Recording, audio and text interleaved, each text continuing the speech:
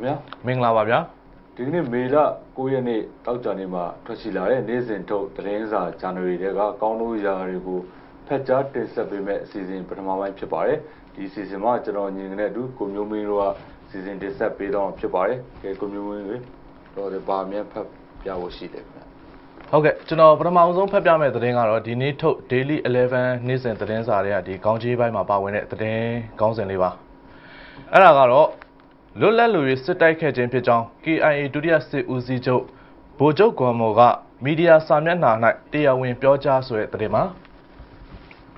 အဲနောက်ထပ်တစ်ပုဒ်ကတော့ငင်းချရေးဆွေးနွေးပွဲတွေမှာပါဝင်လူကြောင်းပြည်ထိန်တန်အမတ်ကြီးပြောကြားဆိုတဲ့သတင်းပါဒီသတင်းကတော့ဒီနေ့ထုတ် The Voice Daily ဒီနေ့စဉ်ထုတ်သတင်းစာမှာပါဝင်တဲ့ခေါင်းကြီးပိုင်းတစ်ပုဒ်ပါဒီကျွန်တော်တတိယမြောက်ဖတ်ပြချင်တာကတော့မြစည်းမ Daily ဒီနေ့ထုတ်သတင်းစာထဲမှာပါဝင်တဲ့ခေါင်းကြီးပိုင်းမှာအဲ့ဒါကတော့ပညာရေးစိုက်ပျိုးရေးငင်းချမ်းရေးအတွက်ဒေါ်လာ1.35ဘီလီယံကို EU ကအကူအညီမယ်ဆိုတဲ့သတင်းပါ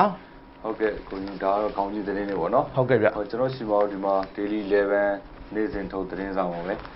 အဲ့ဒါဟိုလေးဖက်ပြကြပါတယ်ဟုတ်ကဲ့ခင်ဗျစုံစုံစမ်းထောက်လှမ်းမှုဆိုင်ရာ journalism ဆိုပြီးတော့ရေးထားပါတယ်ဟုတ်ကဲ့ကာလကြာရှည်စွာရပ်တည်ခဲ့တဲ့စုံစမ်းထောက်လှမ်းမှု journalism ကို ဟန်တာနှောက်ယှက်နေတဲ့အရာတော့အကြောက်တရားပါပဲတရားစွဲဆိုခံရမှာလူမကြိုက်မှာအင်အားကြီးမားတဲ့အုပ်စုတွေရဲ့ဝေဖန်ခံရမှာကြောက်နေရတာပါပဲဆိုတာ American journalist Eric Schroeder ကဒီရေးခဲ့တာပေါ့နော်သူကအဲ့ဒါလေးနဲ့အဖွင့်မှာရေးထားပါတယ်အဲ့တော့ဒီမှာရေးတာတော့ဒီသတင်းသဘောတဘာဝအရာထိတ်တက်ရင်ဆန်ရသည့်သဘောပြဿနာဖြစ်တတ်သည့်သဘောရှိသောကြောင့်ဤဂျန်လစင်မျိုးစားသည့်သတင်းဌာနတစ်ခု၌ ဗတ်ကြငွေနေပါမှုကြောင့်ပထမဆုံးထိကိုက်နိုင်သည့်အမျိုးအစားဖြစ်ပြီးသတင်းဌာနကိုပြင်ပမှအနောက်ရှက်ပြုလာနိုင်သည့်အမျိုးအစားလည်းဖြစ်သည်စုံစမ်းထောက်လှမ်းမှုဂျန်လစင်ကိုမှန်ကန်စွာလှုပ်ဆောင်နိုင်မှာကဖြစ်ရှင်းရလိုအပ်သည့်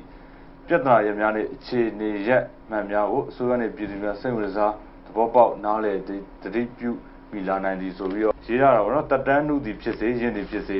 ဒီမိုကရေစီစနစ်ကိုကျင့်သုံးသောနိုင်ငံများတွင် ကောင်းမွန်သောအုပ်ချုပ်ရေးအတွက်လွတ်လပ်ရေးအမိကိုကင်းပြီးဗတ်ပေါင်းစုံအမြင်ရှိသောစုံစမ်းထောက်လှမ်းမှုဆိုင်ရာဂျာနယ်စင်ကိုကျင့်သုံးသည့်မီဒီယာများကအချက်ချာကြသည်တဲ့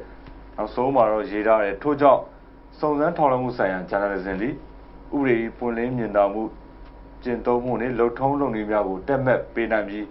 နိုင်ငံဖွံ့ဖြိုးတိုးတက်ရေးနှင့်စည်ရဲမွေးတင်မှုတိုက်ဖျက်ရေးတို့အတွက်လွန်စွာအရေးကြီးအရေးကြီးပါကြောင်း The Daily 11သတင်းစာကရေးသားအပ်ပါသည်ဆိုပြီးတော့ ဒါတော့ဒီဒီနေ့ထွက်ရှိလာတဲ့ Daily 11သတင်းစာရဲ့အိဒါအပေါ်ပေါ့နော်ကျွန်တော်ဖတ်ပြမယ့်သတင်းစာထဲမှာပါတဲ့ဒီသတင်းတစ်ပုဒ်ကတော့ဗောနော်ဒီဒီနေ့ထုတ် Democracy Today သတင်းစာထဲမှာပါတဲ့ဒီစာမျက်နှာ25မှာပါတဲ့သတင်းပါဟုတ်ကဲ့ပါအဲသတင်းကောင်းစဉ်ကတော့အဲ့ဒီသတင်းရဲ့သတင်းကောင်းစဉ်ကတော့အာဇာနည်ဗိမာန်မှာဘုံမှန်သေဆုံးခဲ့ရတဲ့သူတွေအတွက်အထိမ့်မှတ်ကြောက်တိုင်ကိုလာမဲလာမှာတောင်ကိုရီးယားကတိစောက်မယ်ဆိုတဲ့သတင်းပါအဲ့မှာပထမဦးဆုံးစာပိုက်မှာရေးထားတာကတော့သူက ဒီ1983ခုနှစ်ကတဲ့ရန်ကုန်မြို့မှာဘုံမှန်ပြီးတော့သေဆုံးခဲ့ရတဲ့ဒီတောင်ကိုရီးယားသားဒီခေါင်းဆောင်တွေအတွက်ပေါ့နော်ကြောက်တိုင်တစ်ခုကိုတိစောက်သွားဖို့အတွက်ဒီတောင်ကိုရီးယားနိုင်ငံကစီစဉ်နေတဲ့အဲ့ဒီဖြစ်စဉ်ကတော့ဒီမြောက်ကိုရီးယားကနေပြီးတော့ဟုတ်ကဲ့မြန်မာနိုင်ငံကိုလာရောက်လည်ပတ်နေတဲ့တောင်ကိုရီးယားသမ္မတနဲ့အဖွဲ့ကိုပေါ့နော်လှုပ်ကြံတပ်ဖြတ်ဖို့အတွက်စ조사ခဲ့တဲ့ ကိစ္စကနေပြီးတော့ပေါ်လာတာဖြစ်တယ်ဆိုပြီးတော့ဂျာတာပရင်းတွေကစိုးကတာဝန်ရှိသူတွေကပြောသွားတယ်တဲ့ဗျဟုတ်ကဲ့အဲပြီးတော့အဲ့ဒီကြောက်တိုင်ကဘယ်လောက်ဒီအရှည်ရှိမလဲဆိုတော့1.5မီတာအရှည်ရှိမယ်တဲ့ဒီကုန်ကြစည်ကဒီခန့်မှန်းပေါ့နော်မြန်မာနိုင်ငံအရောက်တောင်ကိုရီးယားမှာလုပ်မယ်မြန်မာနိုင်ငံအရောက်တည်မယ်ဆိုရင်ဝန်ငွေတန်း930လောက်ကုန်မယ်ပြောတယ်ဗျအမေရိကန်ဒေါ်လာနဲ့ဆိုရင်တော့ဒီကျွန်တော်တို့9သိန်းကျော်ပေါ့နော်သူတို့ငွေတန်ဖိုးနဲ့တွက်လိုက်ရင် အဲ့ဒါကပြီးတော့ဒီသတင်းရဲ့နောက်ဆုံးပိုင်းမှာရေးထားတာကတော့1983ခုနှစ်ဘုံဖောက်ခွဲမှုမှာတဲ့တောင်ကိုရီးယားသမ္မတချန်ဒူးဝမ်ကိုဒါလုတ်ကြံခဲ့တဲ့ဖြစ်စဉ်ဗျဟုတ်ကဲ့အဲ့ဒီမှာဒီအဲ့ဒီ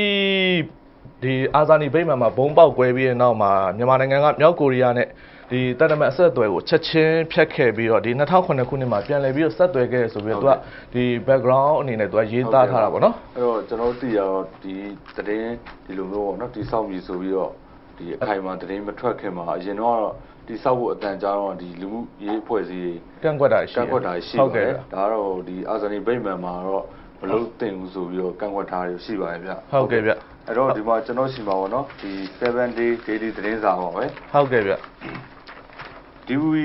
နိုင်ငံသားသတင်းတော်တူကိုပြည်နေနဲ့ပေးဆိုပြီးတော့ဒီမှာရေးထားပါတယ်ဟုတ်ကဲ့မီဒီယာလွတ်လပ်ခွင့်ရရှိရေးနဲ့ဥပဒေမဲ့ဖမ်းဆီးထားသောသတင်းတော်မှာပြန်လည်လွတ်ပေးရဲနဲ့မေလ9ရက်တွင်မကွေးမြို့၌ပြုလုပ်တဲ့ ဆန္ဒပြပွဲသို့သတင်းတော်ယူသည့်ဩစတြေးလျနိုင်ငံသား DVB သတင်းတော်မှာပြည်နေနဲ့ပေးခံရပြီးတော့မေလ10ရက်တွင်မြန်မာနိုင်ငံမှထပ်ခွာသွားပြီးဖြစ်ကြောင်းသိရသည်တဲ့ဒါကတော့မကွေးဒီအေးကိုစောဖေးကိစ္စသတင်းတော်ကိုဟုတ်ကဲ့ဗျတလားပြည်နယ်ဒီမီဒီယာလွတ်လပ်ခွင့်အတွက်သတင်းယူတဲ့ဒီဒီသတင်းတော့ဟုတ်ကဲ့ပြန်ပေးလိုက်ပါတော့ဒီမှာရေးတာကတော့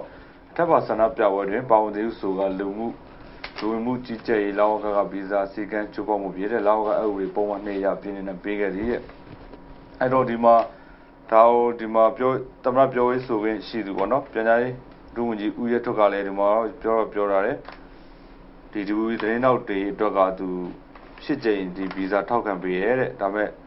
ဟိုဒီနိုင်ငံသားတော့တဲ့ဒီဗီဇာထဲမှာကျွန်တော်တို့ဒီသတင်းတော့ဗီဇာမပါဘူးလို့ရေးတာဒါပေမဲ့ဒီမှာရေးရတာတော့ဗောနော် မီဒီယာဒီသတင်းတော့ဒီသတင်းတော့ဒီကာကချင်းသတင်းတော့ကိုလည်းဒီမှာ7 day ကမေးတာရှိပါတယ်ဟုတ်ကဲ့ဗျမီဒီယာလွတ်လပ်ခွင့်နဲ့တဲ့ဆန္ဒပြတာကိုသတင်းယူနေတဲ့သတင်းတော့ကိုအရေးယူတာဟာတိုက်ဆိုင်မှုတစ်ခုပဲဆန္ဒပြပွဲမှာပါဝင်ပြီးဆန္ဒမပြပါဘူးဆန္ဒပြပွဲအဲ့ဒီလည်းမဝတ်ထားပါဘူးဆန္ဒပြတဲ့သူရဲ့သတင်းတော့တွေကိုသာအင်တာဗျူးတွေလိုက်လုပ်တာပါရဲတွေကကျွန်တော်တို့ဓာတ်ပုံတွေရိုက်နေတာကိုသတိထားမိတယ်တဲ့အဲ့ဟုတ်ကဲ့ဗျသတင်းတော့ကပြောရတယ်တဲ့အဲ့တော့ဒီကိစ္စကဟိုကျွန်တော်တို့လည်းဒီမှာ ဒီသတင်းတော့ဒီဒီဒီနေ့ဆိုရင်ဒါမျက်နှာတော်တော်များများမှာပါတယ်များမှာပါတွေ့ရတယ်ဗောနော်ဟုတ်ကဲ့နောက်ပြီးတော့ကျွန်တော်တို့တချို့သတင်းစာတွေမှာဆိုရင်ဒီ11သတင်းစာမှာပဲတချို့သတင်းစာမှာဆိုသူသတင်းသွားယူရဲ့ဓာတ်ပုံတွေသတင်းလိုက်နေတဲ့ပုံတွေတွေ့ရတယ်ဟုတ်ပေါ့တယ်နော်ဗျဟုတ်တယ်ဒါတော့စနပ်ပြောင်းမှာပါမပါဆိုတော့ဒါဟိုအထင်ရှားကြီးပါပဲအထင်နော်ရှားကြီးနဲ့ပြီးတော့ဒီမကွေးမှာဒီဒီဆန္ဒပြတဲ့ဒေသခံတွေနဲ့သတင်းသမားယာနဲ့ချီတဲ့သူတွေကလည်းတက်တည်အနေနဲ့ရှိနေရပဲဗျဟုတ်ကဲ့ဒါကတော့ဟို မျက်မြင်နဲ့ဒါလုံလောက်နေပါဟုတ်ကဲ့ဟုတ်ကဲ့ထင်ရှားပြနေရောနော်ဒီမြစည်းမ daily ဒီနေ့ထုတ်သတင်းစာရဲ့စာမျက်နှာ18မှာဒီပါလာတဲ့ကတ်တွန်းဟုဟောတ်ကဲ့င်းဟောင်းရဲ့ကတ်တွန်းလေးတစ်ပုဒ်ကိုကျွန်တော်ကဟုတ်တကဲ့ပါရုပ်ဖော်ဒီဖတ်ပြပေးခြင်းပါတယ်ဟုတ်ကဲ့အဲ့မှာကတ်တွန်းထဲမှာလူ2ယောက်ရှိရပေါ့နော်တယောက်ကတော့ဒီတာမန်ကျွန်တော်တို့အရက်သားပုံစံမျိုးအရက်သားပုံစံပေါ့အဲနောက်တစ်ယောက်ကကျတော့ခေါင်းမောင်းစားတလူလူနဲ့လူကြီးပုံပေါ့ဗျာဟုတ်ကဲ့အဲအဲ့မှာအရက်သားအစပြောတယ်ဗျကန့်ကွက်ပါတယ်တဲ့အဲအဲ့မှာခေါင်းမောင်းစားတလူလူတဲ့လူကဘာပြောလဲဆိုတော့ ဘာမှတော့မပြောရမလုပ်ရသေးဘူးလေဘာလို့ကန့်ကွက်တာလဲမေးပြန်အောင်ဟုတ်ကဲ့အဲ့မှာအရသားလေးကပြန်ပြောပြန်အောင်အဲ့ဒီခေါင်းပေါင်းတဲ့လူကြီးကိုပေါ့နော်ဘာပြောပြောဘာလုပ်လုပ်တယ်ကန့်ကွက်စရာတွေကြီးပဲမို့လို့ကြိုပြီးတော့ကန့်ကွက်ထားတာပါဆိုပြီးတော့ပြောတော့ဟိုခေါင်းပေါင်းစားတလူလူနဲ့ပုတ်ကွာခေါင်းတွေကုတ်ချွေးပြန်သွားပြီဗျဟုတ်ကဲ့ဟိုဒါပဲဖြစ်သူဟိုကန့်ကွက်စရာကြီးကတော့အများကြီးပဲပေါ့နော်အဲဘယ်ကလာတယ်လဲဆိုတဲ့ဥစ္စာကိုဒါတရုပ်ဖော်ချင်တာနဲ့တူပါတယ်ဗျဟုတ်ကဲ့ဟုတ်ကဲ့ပါဟိုအဲ့တော့ဒီကာတွန်းလေးနဲ့ပဲပေါ့နော်ကျွန်တော်တို့ဒီသတင်းစာ channel တွေက ကောင်းတို့ရာတွေကိုစီစဉ်တင်ဆက်ဖက်ကြားပေးတဲ့စီစဉ်ပထမဆုံးဒီမှာပဲရန်နာလိုက်ပါခင်ဗျာ